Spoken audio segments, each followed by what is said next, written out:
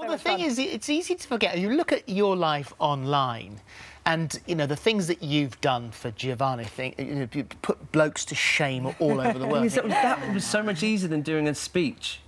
I like sing. That's just what I do for a living. Mm. So I, I think I just so got good. got away with it. I mean, try, I think we try and have a balance. You know, we do share our fails online. Yeah, when you put it all together and it looks, you know, very kind of happy and, and magical. There are obviously yeah. stressful times. But then if you look at your phone, like you'll have taken photos of the nice times, mm. and yeah. that's what you share. No, absolutely, you know? absolutely. And actually, this book, because this is this is your book, Jib. Yep. Oh, uh, and it says "Happy Baby, a Happy Mum" is what it's called. And really, with all the blogging, this was a real natural progression mm -hmm. of mm-hmm. that for you, and yeah. to put everything down in here. And you say this isn't this isn't preachy, and this isn't a guide of how to bring no. up your baby. It's that wasn't what it was meant to be at all. No, because I think there's there, there's so much stuff out there that tells us how to be the perfect mum. And actually, it's not that easy. We, uh, and straight away, we kind of feel like there is a way to parent and there's a right way, and you're always doing it wrong.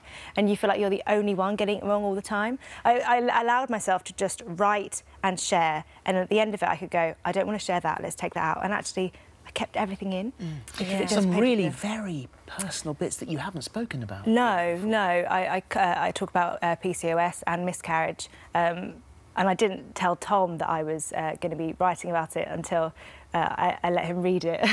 it was the first kind of chunk that I wrote because I wanted to start right at the beginning about my dreams and aspirations of being a mum. Um, I thought I was going to be like Maria in Sound of Music, you know, making curtains out of, like, clothes out of curtains and yeah. all of that. Uh, and it just, um, yeah, it just didn't happen like that. It didn't, it didn't come easily. And um, so I showed Tom that uh, that section without telling him what it was because I didn't want him to start reading it and thinking like, already having thoughts and feelings yeah. about it so yeah. just to see what he made of it and, and what did you make of it well, I cried for a, for a long time. yeah. No, it's. Um, I think it's so important to be honest, and yeah. sharing is so important. And with parenthood, you know, there's so much that I didn't know about before we became parents, and it's only now realizing that the most important thing is just sharing information. Yeah. And it's stuff that it's, it is uncomfortable talking about, but it's so important because that's how we learn that okay, it's not just us, it's not just me.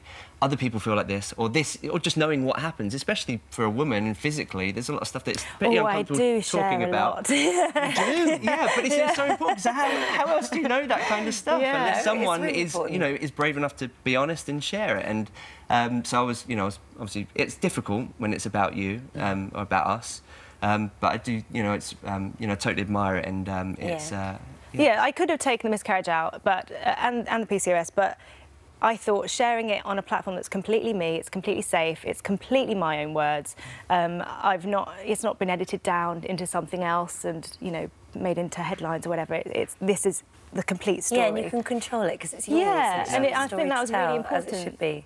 Um, you also go into there's a whole little bit in there about body image mm -hmm. as mm-hmm. well, and how you sort of felt before the baby and how you felt after the baby, and that's something that a lot of women go through. Yeah, definitely. And I do think actually my miscarriage has kind of had a part in that as well. Uh, after Buddy arrived, uh, we had this thing where a lady kind of looked at me and pointed and was like, oh, mummy's still got her tummy, and laughed at me.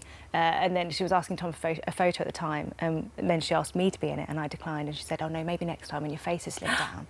Uh, so oh there was a whole gosh. big thing, yeah. Uh, and so a couple what, of days. what do you say in, when we were in A and E at the I've time? I've never said that. Oh, I've sorry. never said that. was, we were in A and E at the time, and it was someone who worked there who said it. Who it was a really in, inappropriate place. You know, it was just a bit. Um, it was oh, a bit that's stressful. awful. And, and so, but as a result of that, I was uh, looking at myself in the mirror a couple of days later, and I was just like, how do I feel about this? I've knocked my body, and I literally have knocked my body since I was about nine years old. I can yeah. remember being on Frinton Beach, seeing stretch marks on my thighs, and I've just nitpicked to every single thing and, and torn it apart.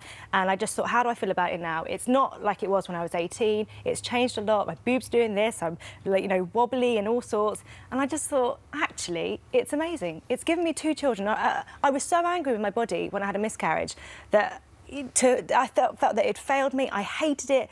And at that point, looking at my body, I was like, it's, it's completely done me a great yeah. service and I should be And you've, you've, been very proud. You posted pictures yeah, shared yeah, by had, Ashton Kutcher. I, I know, totally. Girls over that. I was like, Tom. She talks about that quite a lot. she reminds me of that. How hands-on uh, How hands-on are you?